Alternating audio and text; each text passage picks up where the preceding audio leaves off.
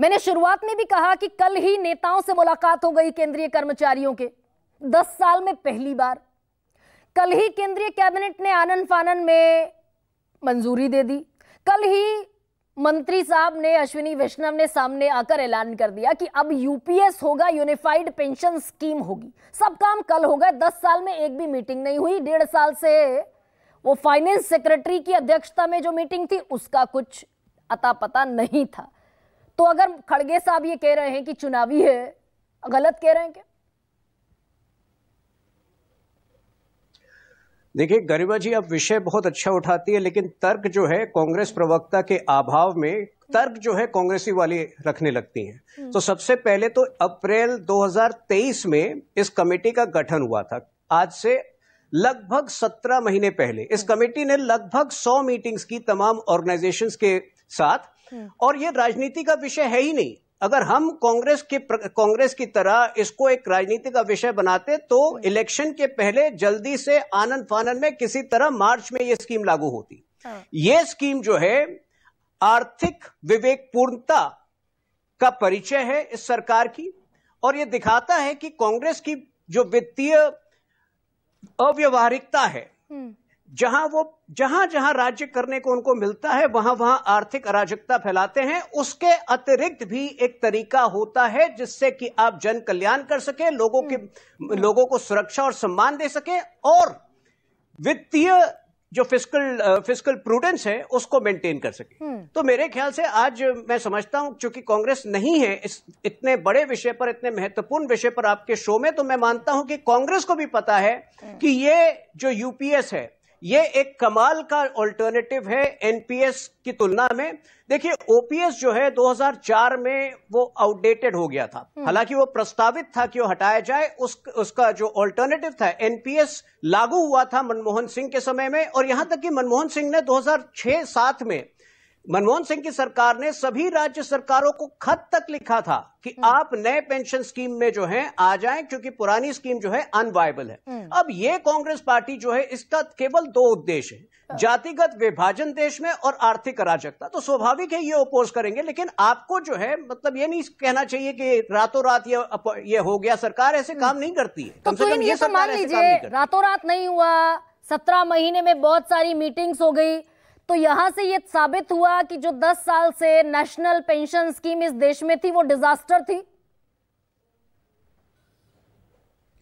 नहीं डिजास्टर नहीं थी। देखिए आपको समझना होगा कि दोनों चीज़ों का हित रखना दोनों हितों का दोनों एस्पेक्ट्स को जो है ध्यान में रखना पड़ता है। एक और जो है एम्प्लॉयज़ अगर किसी वजह से एनपीएस में असुरक्षित फील कर रहे थे तो उसका एक बेटर ऑल्टरनेटिव हमने प्रदान किया है। और कोई टीवी भी सोमनाथन का बयान नहीं है ये तो, ये मेरा बयान नहीं है। विकल्प है आप सुनिए मेरी। नहीं एक second T V Somanathan finance secretary उस वक्त थे जब समिति आपने बनाई आज की तारीख में वो कैबिनेट सचिव हैं। उन्होंने कहा कि एनपीएस की तुलना में यूपीएस 99 परसेंट बेहतर है यानी कि 99 परसेंट खामियाँ थी एनपीएस में। नहीं नहीं तो देखिए देखिए किसी भी कोई भी चीज़ जो है कोई भी नीति परमानेंट नहीं होती है। अगर उसमें सुधार की आवश्यकता है तो निश्चित रूप से सुधार की जाएगी। लेकिन वो सुधार जो है राजनीतिक मंशे से और एक एक आनंद फानन में जल्दबाजी में नहीं होना चाहिए जिसका परिचय हमने दिया। देखिए एनपीएस जो है उसमें किसी ऐसा महसूस हो रहा था कि कुछ असुरक्षा लोग महसूस कर रहे थे।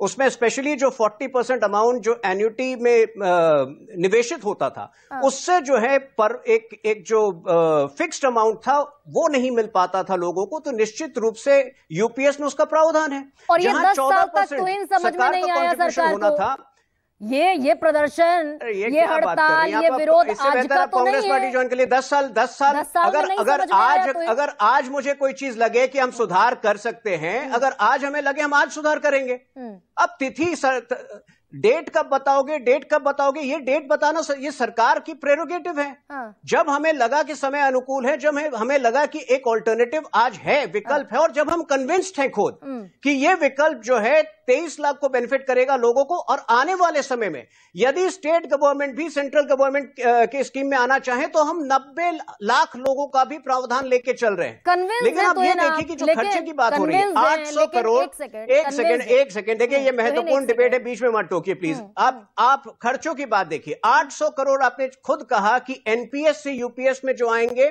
उसमें एक वन टाइम सरकार का खर्चा 800 करोड़ का होगा और इस वक्त पहले साल के सालाना इंप्लीमेंटेशन में लगभग 6250 करोड़ है।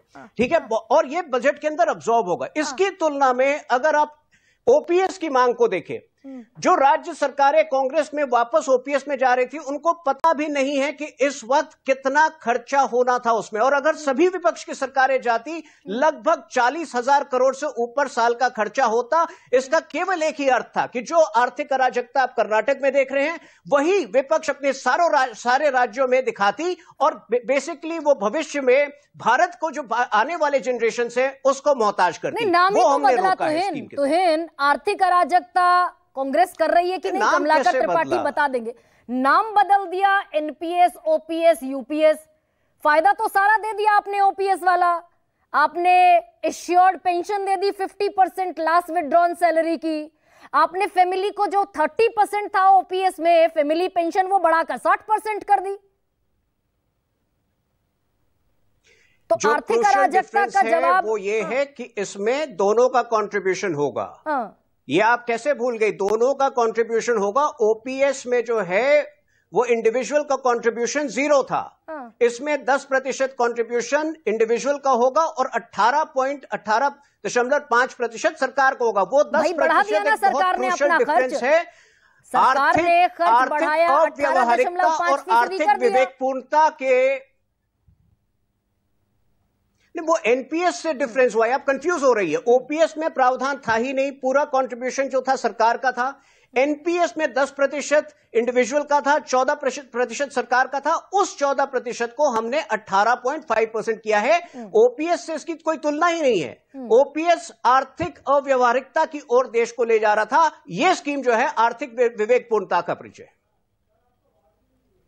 तो जो मैंने सवाल उठाया तो है कि ये विवेकपूर्ण जो निर्णय है, ये 10 साल तक लंबित रहा ना, ये 240 के बाद आया ना ये सवाल जब हमें सुधार लगा कि आज एक ऑल्टरनेटिव है हम जल्दबाजी में दूसरों के प्रेशर में नहीं करते हैं। यही सवाल तारीख कब बताओगे तो हर विषय पर हम पे पूछा जाता है हाँ। कि आर्टिकल 370 अब तक क्यों नहीं हटा रहे थे? जिस दिन किया अब क्यों कर दिया? कल ही आप पूछेंगे अब क्यों किया? 2024 के पहले क्यों नहीं किया? हाँ। देखिए तारीख तय करना जो है वो सरकार का प्रेरोगेटिव है। जिस दिन विपक्ष सरकार में होगी वो तय करेगी।